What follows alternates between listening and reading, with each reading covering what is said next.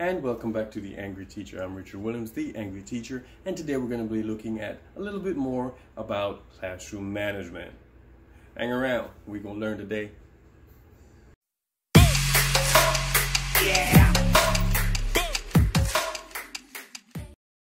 So we've got all these kids in front of us, uh, possibly different periods of kids, and we don't know what we're doing. We have issues with some of them. These tips are going to help you. There are about six of them let's get into it. Don't forget to like, comment, subscribe, and ring the little bell for the next Angry Teacher video release. Number one.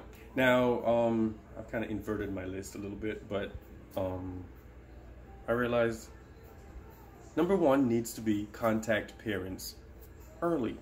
Now, if you see the potential for a problem with a student, uh, student is not necessarily responding to you well, responding to what you need to do, or need them to do, responding to other kids well, or you know, just doing what they want to do. I think it's better if you contact the parents early enough to give them a heads up.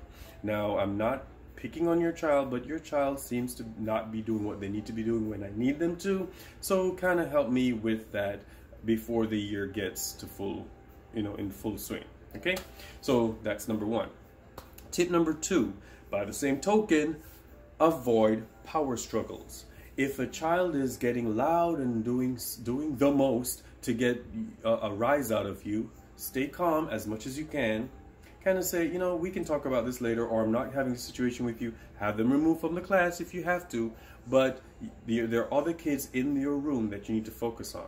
So you can either step, have them step outside and handle it, or have security come and take them outside, or uh, go to a neighboring teacher, whatever it is, and then you handle it afterwards. Make sure this is documented so that if this arises again, you can say, this is a pattern, or this student just doesn't like when I, or this student just doesn't believe in doing whatever it is. But avoid a power struggle, especially in front of others. Do it in private if you have to, and then lay down the, the, the rule. But they need to know that you can't do that in a class.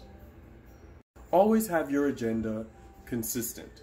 Now, everybody knows when they come into my room, there's a class opener, there's something to do.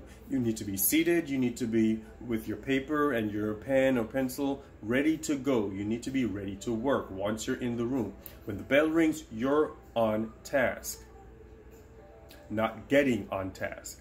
So with that said, if they come in one day and you're you're you're focused, you're that teacher that gets them to start working, and then they come in another day and there's not much going on and they're just chilling and then it's taking you 20 minutes to get your act together, and then the other day you're late again, or the next day you're really early and you're trying to lay down the law, it's going to be a problem.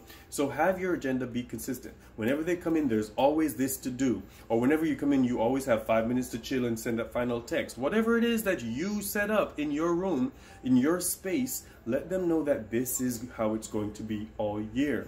We don't fluctuate unless there's dire need for it because they will see that as a sign of weakness on your part and they will pounce. I forgot what number this is, but whatever number it is, paperwork.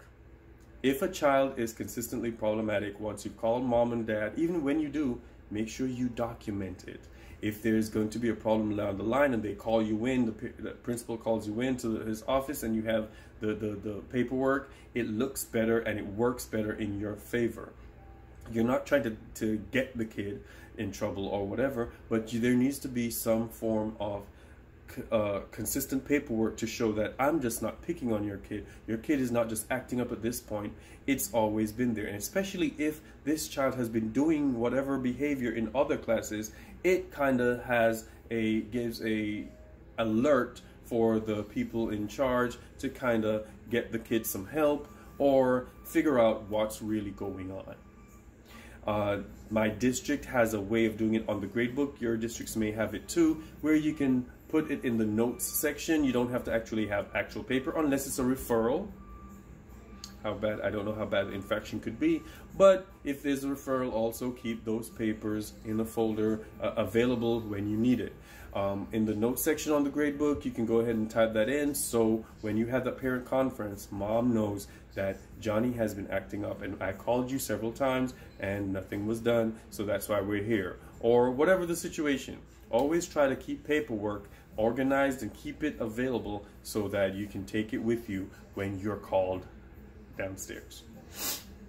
Later in the video, I'm going to tell you one of the reasons I got the moniker the angry teacher. Hang around, you don't want to miss it. One classroom management technique that actually works is, we talked about it before in several videos, proximity control. But it actually does do something when you move around the room. Now, the lesson might require you to be at the board, especially math teachers, you have to stand by the board and um, write things on the board, but you need to move around at some point. While the kids are thinking, while your teacher thinking out loud, move around so that you are putting out little fires. Put the phone away. Um, stop talking. Um, Johnny, pay attention. Stop doodling on the, the, the, the, your paper. Whatever it is, you need to be moving around, paying attention to all this while the kids are still thinking, while they're working, while they're doing all these things. They know that you're not just going to be stationary in the front of the room or at your desk where I can get away with whatever in the back he's going to be moving around or she's going to be moving around. So that actually works. Move around, be a part of your class, not at the helm of your class. With that said, here's what I normally do. Now this is one of the one of the techniques that, and it's not necessarily a technique, it's just something that I needed to do and it worked. Um, why they started calling me angry and the angry teacher and whatever. It's don't be cool before you can. Now, some of us try to be these kids' friends and we try to be the cool teacher before we actually have some street cred. You don't know these kids. They, especially week one, they will take advantage and see how far they can get with you. Stop trying to be so cool that you forgot that they need to have some form of discipline for learning. Learning doesn't happen when you're you're you're not focused. Now, learning the way learning looks is different. It, it could be fun, but I have to know that I have to be focused on the task at hand to understand what I'm doing to learn it. So instead of me trying to be that cool teacher, I am really strict in the beginning a lot of kids after a while, especially if they've had me more than once, they know that uh, I'm, I'm not that evil ogre. But don't be cool before you can.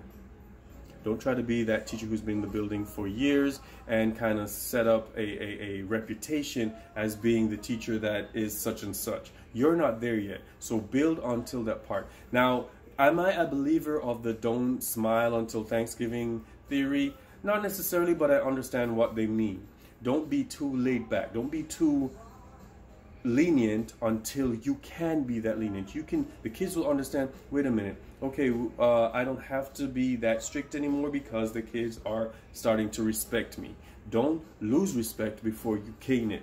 All right, so those are my tips for classroom management number two, and we'll do some more later. But right now, you got this. All right, let's talk about it in the comments below. Let me know what works for you, what didn't work, and what you want to try. All right?